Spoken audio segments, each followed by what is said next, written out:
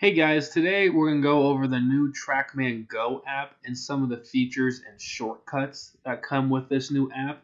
You will connect to the TrackMan the same by going into the Wi-Fi, connecting to TrackMan's Wi-Fi, and then going into the TrackMan Go app and then clicking on your TrackMan signal.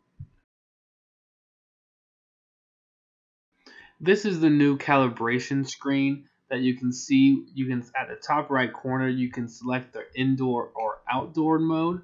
You still have the same crosshairs with the zoomed in feature that comes with uh, being able to pinpoint a more accurate topic for your alignment. You can also see this is where you will choose your ball type temperature and elevation that you want to be normalizing at you can always go back into and change the normalizing feature, but this is now easier way to kind of start your sessions. If you select in the top right corner the three tasks icon, it will open under the TrackMan icon, which will give you a brief description of your current unit's battery life and serial number and firmware.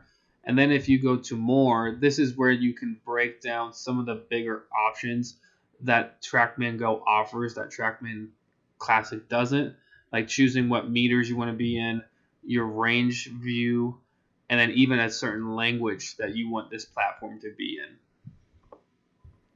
You can see there's other options and gestures that will walk you through how to work this app properly from setting up your TrackMan iCloud account like in our other tutorial video or just breaking down some of the shortcuts that this app has. Now, if we move into some of the shots that we have saved in this platform, you can see the clubs get broken down into an easier category and even have the option to select the club drop down and change what view you want to see in the shot list in the bottom left. So if we move into the certain shot, you can pin, if you pinch with your two fingers to zoom in and out, you can totally customize what order these parameters come in even if you click and hold and then drag the parameters in order, you can list them in the order that you want rather than reselecting everything. You can see here we have all parameters being shown, which may be overwhelming or unhelpful to most people. If you click the settings icon, you can see these are all the parameters that you can select or deselect. And so you can just go through this list and add what parameters you want to see.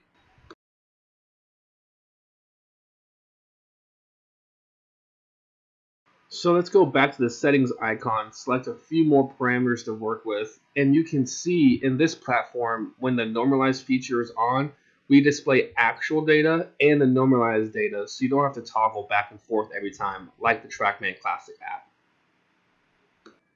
If you look at the top taskbar, you can see there's six options from the data feature to the parameters to the playback video to the trajectory.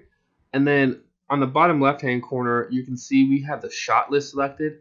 But if we switch to the data list, you can see now that's the parameters plus the trajectory of the ball flight. The next feature is the side and top view. And then something that's new in this platform is this optimizer feature. So you can see when normalization is on, you can see you can get the optimizer for that certain shot with the data still being shown on the left and then you can select whatever low, mid, or high trajectory you are trying to optimize your shot to. Then the last feature in the taskbar is simply the table view if you want to break down the data. Something that's different in the TrackMan Go app is the way you tag clubs. You can see in the top left corner, you don't create a custom club. You physically just type your own custom tag. So you would click add tag, add whatever tag you want to put here, click add, and then done. And then now you can see that tag is added to that shot.